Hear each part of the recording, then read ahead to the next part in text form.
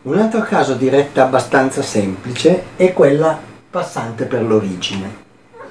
Eh, cioè una retta che passi per O e che abbia un'inclinazione, quello che è adesso in questo caso è verso l'alto, potrebbe essere anche verso il basso o orizzontale.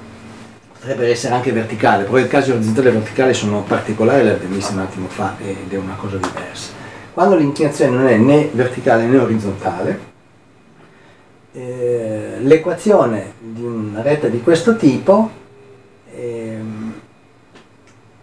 è rappresentata da una semplice eguaglianza di y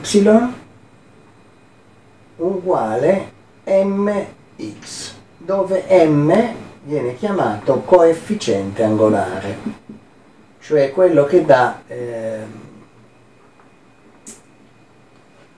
il valore della pendenza della retta. Più alto è questo m, più ripida la retta, meno alto l'm e meno ripida la retta. Nel caso particolare con m uguale a 0 diventa y uguale a 0, viene la retta orizzontale.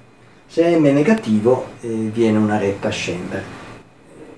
Vediamo un esempio pratico, tanto per convincerci che la cosa effettivamente funziona. Una retta come questa ha per esempio l'equazione di questo tipo, 3 mezzi x cioè questo coefficiente angolare è 3 mezzi. Se noi proviamo a fare un paio di valori x e y di questa retta troveremo dei punti che ci ricalcano eh, questo disegno. Per esempio pigliamo lo 0, se 0 è al posto della x, 3 per mezzi per 0 fa 0 pure lui, se 1, 1 per 3 mezzi fa 3 mezzi, se fosse 2 i due si semplificherebbero avremmo soltanto 3 e così via queste tre coppie di valori sono, corrispondono a tre punti. Chiamiamo A il primo, B il secondo, C il terzo.